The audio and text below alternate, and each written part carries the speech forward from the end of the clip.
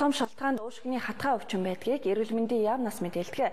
Тэгвэл уушгины хатгаанаас урдчлан сэргийлэх зорилготой вакциныг манай улс тгээс 5 насны хүүхдүүдэд эхний ээлжинд туршилтын журмаар хийхээр болжээ.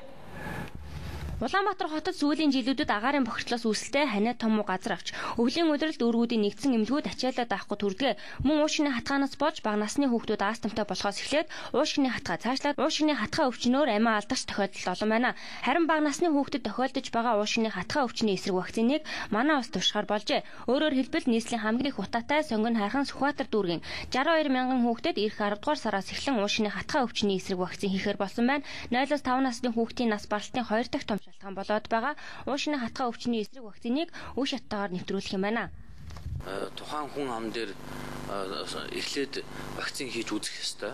Тэгэд үр дүн маш сайн байна гэж үзэх юм бол одоо үндэсний хэмжээнд дахлаажуултыг явуулах ёстой.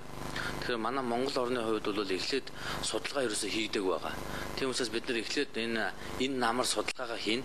Бид бүхэн уушгины хатгааг вакцинжуулж хэрвээ чадах юм бол манай Монгол орны энэ яраа эндэгдэл бол бас эрс буурах боломж бас байгаа гэж үзэж байгаа. Харин эхний ээлжийн вакцинууд үр дүнгээ өгвөл нийслэлийн бусад дүүргийн 0-5 насныханд үргэлжлүүлэн хийх юм а. Өнгөрсөн өвөл уушины хатгаа өвчнөөр давхарцсан тоогоор 10 мянган хүүхэд өвчөж тэдний 20 энцэн байна. Харин вакцины нэвтрүүлэхдээ олон улсын туршлагатай вакцины үйлдвэрлэл болон тухайн вакциныг улс орондоо сайн хэрэгжүүлж байгаа юм тариаг авах юм байна.